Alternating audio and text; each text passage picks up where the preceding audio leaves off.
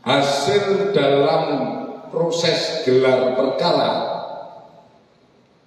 semua menyatakan sepakat untuk menaikkan saudara PG menjadi tersangka.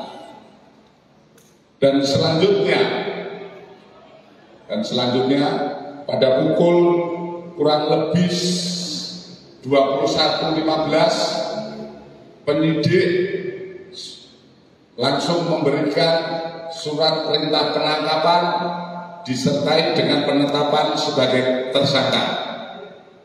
Dan saat ini saudara PG menjalani pemeriksaan lebih lanjut sebagai tersangka pasal yang dipersangkakan yaitu pasal 14 ayat 1 Undang-Undang Nomor 1 Tahun 46 tentang peraturan hukum pidana di mana ini ancamannya 10 tahun.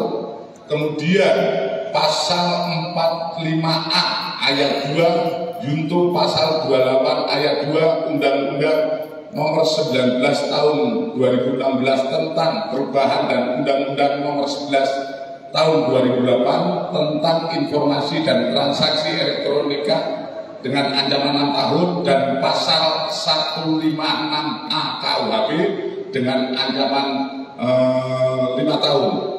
Terima kasih sudah nonton. Jangan lupa like, subscribe, dan share ya.